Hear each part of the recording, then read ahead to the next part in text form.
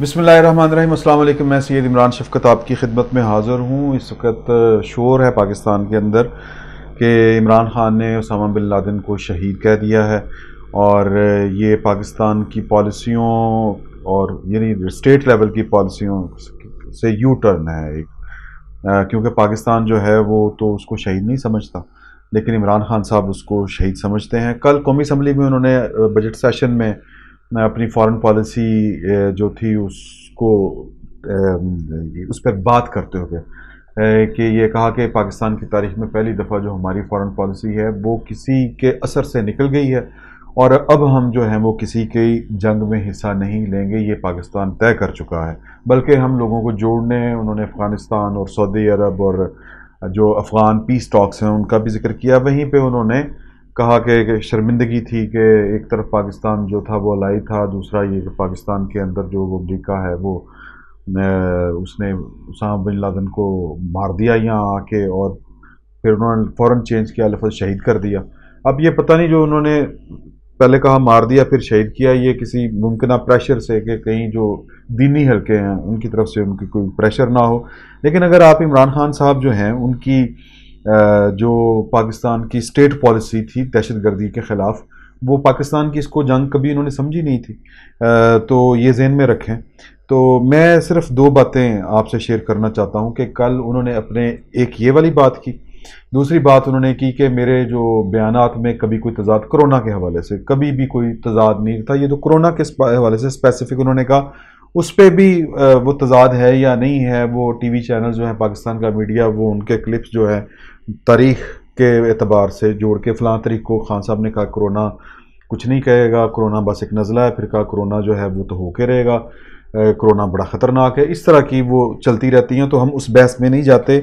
तजाद वाली बात जो है, वो मैं इस तरफ़ लेके आता हूँ कि एक तो उन्होंने कह दिया कि ये शहीद हैं, उसामा बिन लादेन। अच्छा शहीद हैं तो फिर ये आप जहन में रखें कि उनका जो कत्ल है, अगर वो शहीद हैं और वो शहीद किए गए हैं तो कत्ल हैं तो फिर उसमें पाकिस्तान का पूरा पूरा हाथ है। रियासत पाकिस्तान का।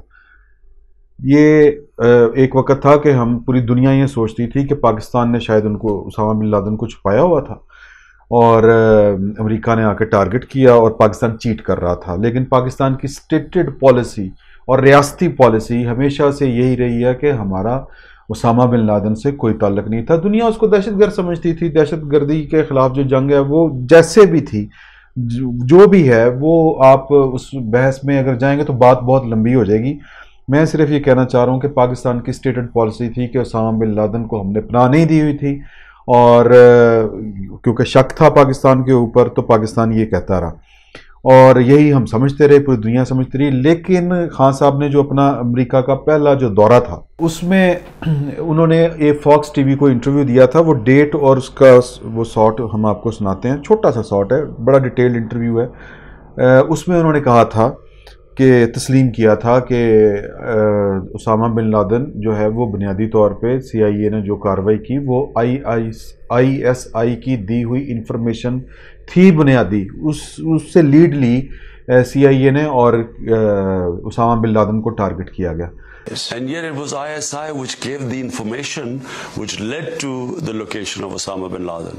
तो अगर उसामा बिन लादन शहीद है तो फिर जिस तरह मैंने पहले कहा कि ये पाकिस्तान उसके पाकिस्तान की रियासत पाकिस्तान की हुकूमत जो भी थी जिसकी भी थी वो इसकी ज़िम्मेदार है, फिर उसाम बिन लादन के कत्ल में। एक बात तो ये हो गई, और इस इंटरव्यू की मैं थोड़ी सी आपको डिटेल बता देता हूँ कि वो जो एंकर था, जो इंटरव्यू कर रहा था, उसने कहा कि जी कि अफ़गानिस्तान पीस के हवाले से बातें करते करते वो इस नुकते पे आए कि डॉक्टर जो शकील अफरीदी है, उसको आप क्यों नहीं छोड़ रहे? तो खान साहब ने कहा कि हमारे वज़ी अजम ने कि ये एक जज्बाती मामला है पाकिस्तान के अंदर उनको जासूस समझा जाता है। तो उन्होंने कहा कि अमेरिका का जासूस तो उन्होंने कहा कि हाँ ऐसे ही है। फिर उन्होंने कहा कि देखें, ये बड़ी अजीब बात है कि आप एक अलाए हैं यानी अमेरिका के ये थादी हैं और अमेरिका आपको बताए बगैर एक कार्रवाई कर रहा है। तो आप हमें इंफॉर्मेशन देते, हम खुद उसामा को बाहर निकाल देते पाकिस्तान से। तो यानी वो, ज़ाहिर तब खान साहब की हुकूमत नहीं थी, जिसकी भी थी, वो पाकिस्तान की बात कर रहे थे। तो उसने कहा आगे से तंजन यानी अल्फाज में तंज था, लहजे में तंज नहीं था। उन्होंने कहा कि आपको मालूम है कि जो आई एस आई है, उस पर इल्ज़ाम है कि वो जो की इन्फॉर्मेशन होती है, वो लीक कर देता कि यानी उनके कहने का मतलब ये था, उस एंकर का, कि अगर हम पाकिस्तान को ये इन्फॉर्मेशन देते तो वो उसामा बिन लादन को फ़रार करा देता वहाँ से।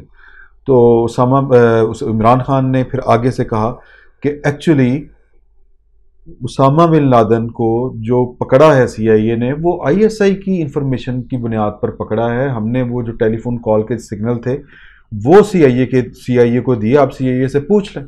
तो एक तो हो गई ये वाली बात कि अगर हम आ, मतलब ये कि अगर हम इस जंग में ये समझ रहे थे कि जो उसामा बिन लादन है वो मतलब हक पर है। तो फिर पाकिस्तान की रियासत ने जो पॉलिसी इख्तियार की, क्या वो गलत थी? फिर एक ये भी बात आएगी कि हमने तो बुनियादी तौर पे अगर गलत समझ रहे थे या ठीक समझ रहे थे, बड़ी कंफ्यूजिंग सी ये वाली बात है कि फिर एक हम खुद जो है वो उसामा लादन की इतला दे रहे हैं। एक बात ये होगी। दूसरी बात ये कि अगर हम उसामा बिन लादन को, अगर खान साहब समझते हैं, जिस तरह मैंने पहले कहा तो बिल्कुल उनका हक बनता। है वो सरबराह हुकूमत हैं। इस वक्त पाकिस्तान की हर पॉलिसी जो है, वो उनकी हुकूमत जो है, बज़ाहिर उसी ने चलानी है।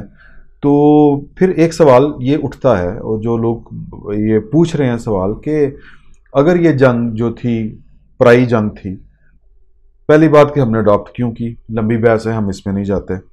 और ज़ाहिर है कि ये जो जंग थी, ये जो अडॉप्ट की थी, ये प्रेम शरफ ने की थी। प्रेम शरफ पाकिस्तान के जो चंद ताकतवर तरीन हुक्मरान गुजरे हैं, उनमें से एक थे। उनको वो स्याह करें, सफ़ेद करें। उन्होंने जो पाकिस्तान के हक में बेहतर समझा, वो उन्होंने फैसला किया। उन्होंने कहा कि हमने ये जंग लड़नी है, ये हमारी जंग है। लड़ी गई। उससे पहले जो जंग लड़ी थी, वो उसको पॉलिटिकली आप जो भी नाम दें, वो जनरल ज़ियाउल अगेन पाकिस्तान में उनसे बड़ा शायद ही कोई ताकतवर हुक्मरान गुजरा हो। सियाह सफ़ेद का मालिक, उन्होंने ये फैसला किया था कि जनाब हमने रूस के ख़िलाफ़ अमेरिका का साथ देना है। खच्चर से लेके इंसानों तक हमने उस जंग में झोंके।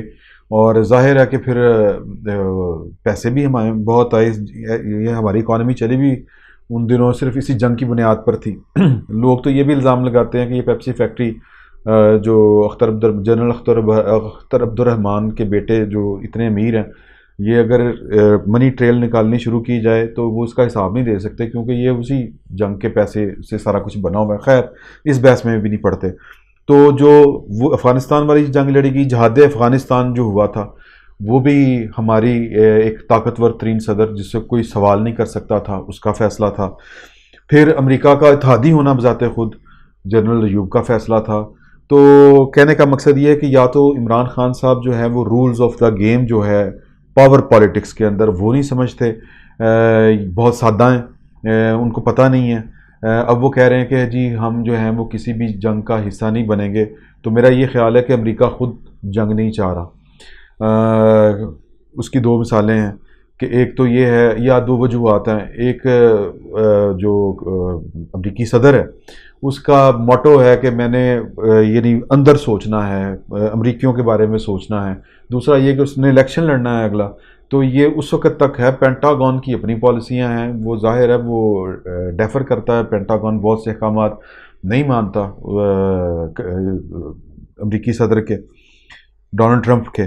तो एक बात ये जहन में रखनी चाहिए। दूसरी बात ये कि अगर पीस टॉक्स में इमरान खान साहब इसको अपनी कामयाबी समझ रहे हैं तो ये उनका हक बनता है कि वो दो पॉलिसीज़ ले आएँ। एक ये कि वो इस जो पाकिस्तान की रियासत ने अभी तक तीन जंगें लड़ी जिसमें दो ये दहशत गर्दी के ख़िलाफ़ जो बुनियादी जंग लड़ी, इसमें हमारा सबसे ज़्यादा नुकसान हुआ। हमारे तकरीबन फ़ौजियों समेत सत्तर हज़ार लोग मारे गए। इनमें सिविल भी हैं और जो हमारे फ़ौजी जवान हैं, अफसर हैं, वो भी हैं। इनका खून हम किसके खाते में डालेंगे? अगर उसामा बिन लादेन शहीद है, ये सवाल सब लोग पूछ रहे हैं। ये खान साहब को भी इसका जवाब देना चाहिए। अगर ये पाकिस्तान की रियासत की गलती है तो फिर इस पॉलिसी को चेंज करते हुए मेरा ख्याल है कि एक डिक्लेरेशन देना चाहिए पाकिस्तान के वज़ी अजम को कि अब तक ये जो हम लोगों की जंगें लड़ते रहे हैं, ये हमारी बुनियादी गलती थी रियासत पाकिस्तान की, हम इससे अब सुधर गए दूसरी बात यह कि इमरान खान साहब को ये भी जहन में रखना चाहिए कि कल को उन्हीं की हुकूमत में अगर ये वक्त आ गया कि अमरीका जो है वो फैसला करता है कि नहीं जनाब, हमने तो जंग लड़नी है अफ़गानिस्तान में या कहीं और तो क्या पाकिस्तान जो है वो मतलब एक फ़ोन कॉल पे जो फैसले कर लेता है अमेरिका के हक़ में, वो इमरान खान साहब की इस पॉलिसी पर खड़ा रह सकेगा? दूसरी बात यह कि अगर इमरान खान साहब वाकई तहे दिल से उसामा बिन लादेन को शहीद तस्वर करते हैं तो फिर इसका मतलब ये हुआ कि वो हमारा हीरो है, फिर उसके बारे में निसाब में शामिल किया जाए। चीज़ें जिस तरह अज़ीज़ भट्टी शहीद और हमारे जो हैं निशान हैदर जिन जो हमारे हीरो हैं जो जो इस मुल्क पर कुर्बान हुए जिन्होंने अपनी ज़िंदगियाँ दी। अब तो बड़ी तवील फहरिस्त हो गई फिर फहरिस्त जो है वो बहुत तवील हो चुकी है या फिर वो हमारे हीरो हैं। अगर वो हमारे हीरो नहीं हैं तो फिर उसामा बिन लादन अगर शहीद है तो फिर वो हमारा हीरो होगा। आ, मैं इस पर मैं इसके हक़ में ये ख़िलाफ़ नहीं हूँ। एक मैं कह रहा हूँ कि अगर एक वज़ी अजम मुल्क ये समझता है तो फिर उसकी हुकूमत है, उसके पास इख्तियार है, वो ये वाला पॉलिसी अडाप्ट करे और जिस तरह वो कहा करते थे कि तालिबान का दफ्तर वो वज़ी अजम बनने से पहले समझते थे और कहते थे कि जी तालिबान जो हैं, वो उनको हमें पाकिस्तान के अंदर दफ्तर खोलने की इजाज़त देनी चाहिए। तो अब उनकी हुकूमत है। माहौल बना हुआ है। कल को अगर तालिबान की अफ़गानिस्तान में हुकूमत आ जाती है तो क्रेडिट लें। कल को हमने उनका सफारत खाना भी तो खोलना है ना। तो अब उनका दफ्तर जो है वो पाकिस्तान में खोल दें। कतर में जाके मुजाकर करने की क्या ज़रूरत है? पाकिस्तानी इधर से जाते हैं, अमरीकन उधर से आते हैं, तालिबान अफ़गानिस्तान से जाते हैं। तो ये पिशावर में खोल लें, इस्लामाबाद में खोल लें, ये भी काम आसान हो जाएगा। तो मेरा ख्याल ये है कि हमें ये जो है ना कि माजी के मुर्दे उखाड़ने की बजाय मौका देना चाहिए कि इमरान खान बतौर वज़ी अजम बतौर लीडर जो समझते हैं, दुरुस्त समझते हैं, या जो वो ठीक समझते हैं, उनको बतौर पॉलिसी पाकिस्तान में नाफज करें। खाली बयान देने से कुछ नहीं होता। अगर वो उसामा बिन लादेन को शहीद समझते हैं तो फिर जो मैंने काम कहे हैं, आपको सजेस्ट किए हैं, वो उनको कर लेने चाहिए। अगर वो समझते हैं कि माजी में जो हमने जंगें लड़ी हैं, वो किसी की थी, ये जो तालिबान वाली जो जंग थी, जो हमने टीटीपी के ख़िलाफ़ लड़ी, जो कुछ हमारे शहरों में जो रोज़ धमाके होते थे, अगर वो हमारी जंग नहीं थी तो फिर उस पर हमें तायब भी होना चाहिए और माजी की गलती से ये नहीं कहना चाहिए कि हमें सबक सीखना चाहिए और उसका इजहार करना चाहिए, कौम से माफ़ी मांगनी चाहिए और टीटीपी के साथ भी उनको भी खुलेआम काम करने की इजाज़त देनी चाहिए कि वो भी अपना एजेंडा जो है वो नाफज करें। क्योंकि ये हमारी जंग नहीं थी जिसमें वो बहुत सारे उनके लोग मारे गए। और ये भी कर लेना चाहिए कि तालिबान का दफ्तर भी पाकिस्तान में खोल लेना चाहिए। अगर इमरान खान साहब ये तहे दिल से, दिल की गहराइयों से समझते हैं कि वो जो कुछ कहते हैं वही उनके दिल में है तो फिर उनको, पाकिस्तान में उनको लागू भी करना चाहिए। क्योंकि उनकी हुकूमत है, अख्तियार उनके पास है। बहुत बहुत शुक्रिया।